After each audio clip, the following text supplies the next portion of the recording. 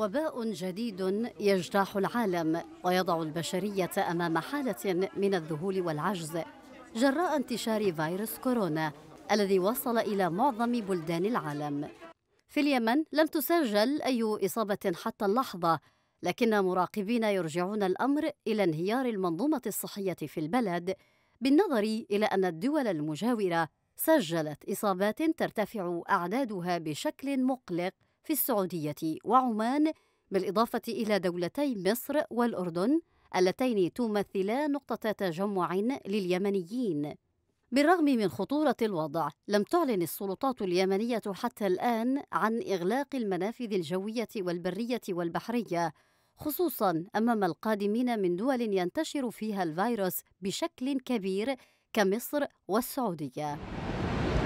منفذ الوديعة على سبيل المثال لا يزال يسمح بدخول المواطنين اليمنيين من السعودية إلى اليمن بينما تمنع السعودية دخول المقيمين اليمنيين إلى الأراضي السعودية. في الوقت الذي كان يجدر بالحكومة اليمنية اتخاذ هذا الإجراء احترازا من دخول أي مصاب للأراضي اليمنية تعيش اليمن وضع حرب منذ خمس سنوات تدمرت خلالها البنية الصحية في معظم المحافظات.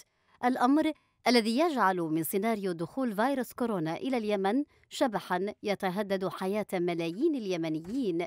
في ظل تدهور كفاءة الجهاز الصحي وافتقاره لتجهيزات الحجر الصحي اللازمة.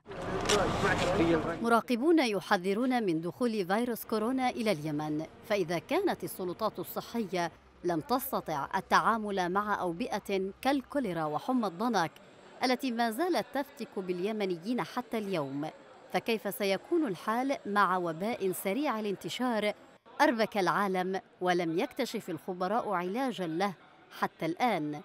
أطباء ومختصون في منظمة الصحة العالمية يشددون على أهمية التوعية الصحية والنظافة الشخصية لتجنب الإصابة بالفيروس.